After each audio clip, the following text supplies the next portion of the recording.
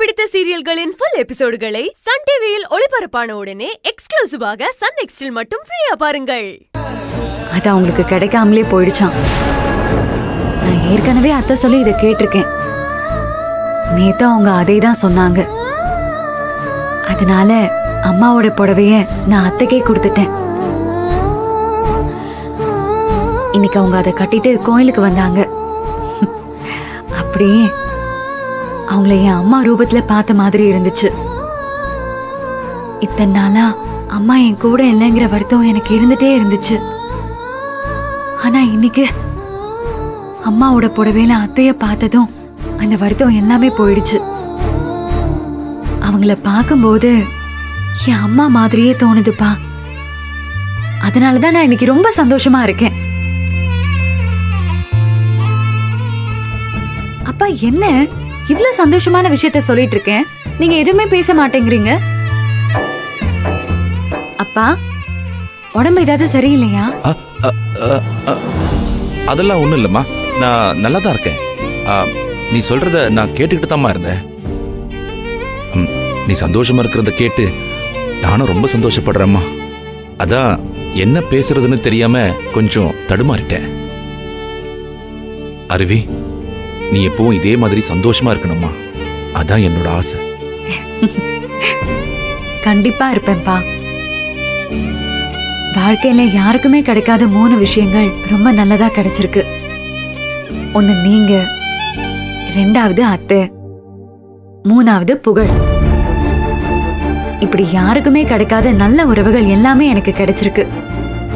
அதனால எப்பவுமே நான் சந்தோஷமா தான் இருப்பேன். அருவி உன்னோட மனசுக்கு எல்லாமே நல்லபடியா தான் அமைஞ்சிருக்கு. இதுல என்னோட பங்கு எதுவுமே இல்லம்மா. நான் என்னோட கடமையை மட்டும்தான் செஞ்சேன். ஆ, சரிம்மா. எனக்கு கொஞ்சம் வேலை இருக்கு. நான் உனக்கு அப்புறமா கால் பண்ணட்டுமா? ஆ சரிப்பா. நானும் வச்சிடுறேன். ம், பாய்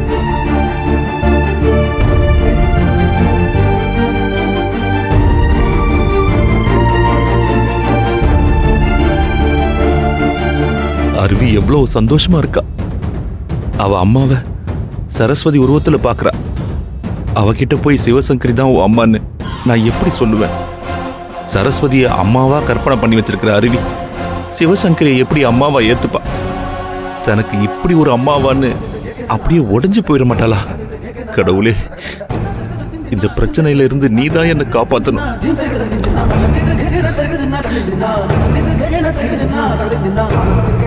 తగదిం తగదిం తిన్నా తగదిం తగదిం తగదిం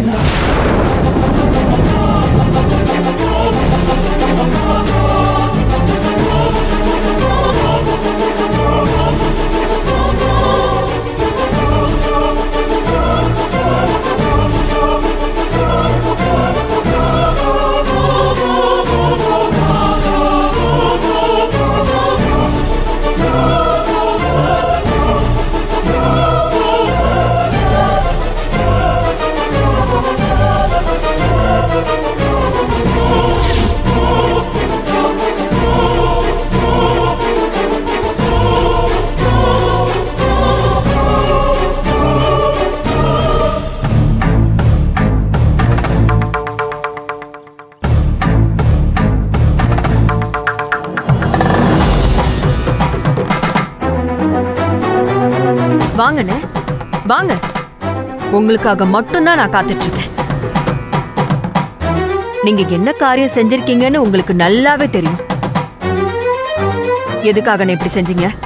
எனக்கு அவர் கொடுத்த புடவையை என் பொண்ணுக்காக நான் பாதுகாத்து வச்சிருந்தேன். அந்த புடவையை எதுக்கு எடுத்து அருவி கையில கொடுத்தீங்க? என் மகளுக்காக நான் ஆசை ஆசையா வச்சிருந்த புடவைய எப்படி உங்களுக்கு தூக்கி கொடுக்க மனசு வந்துச்சு?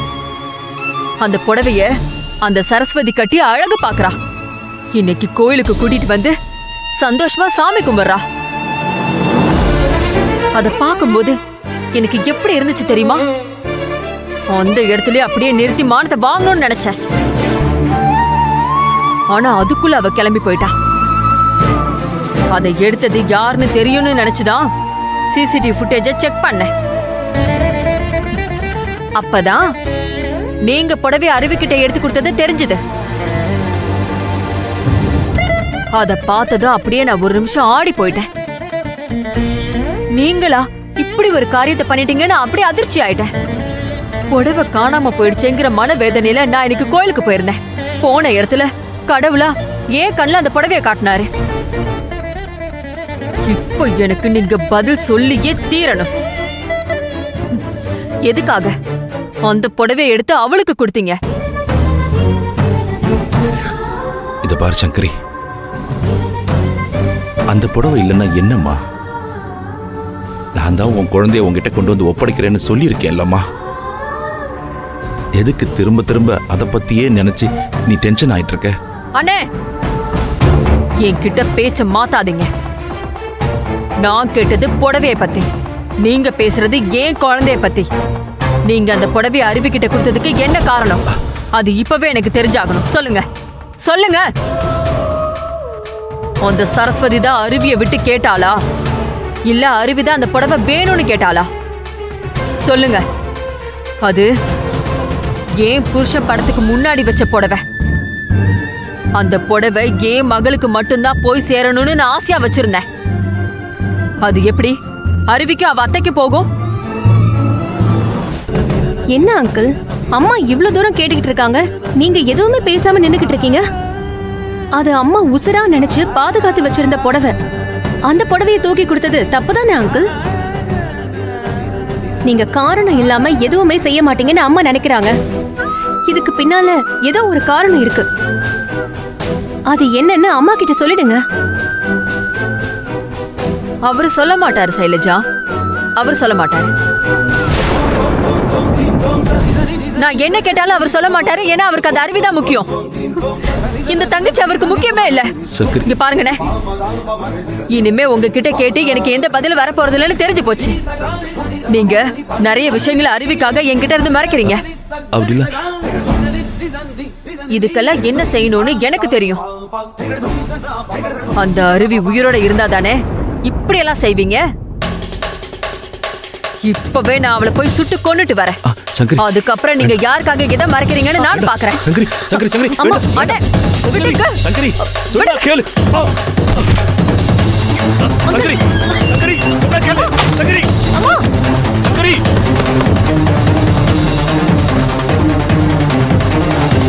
சங்கரி அம்மா. சங்கரி நான் சொல்றத கேளு. சங்கரி சங்கரி சொல்றத கேளு. கதவை துற. அங்கிள். அருவிக்கு ஏதாவது ஒண்ணுனா நான் உன்னை சும்மா விட மாட்டேன் கதவை துற சங்கரி. அங்கிள். என்ன அங்கிள் பண்ணிட்டு இருக்கீங்க நீங்க?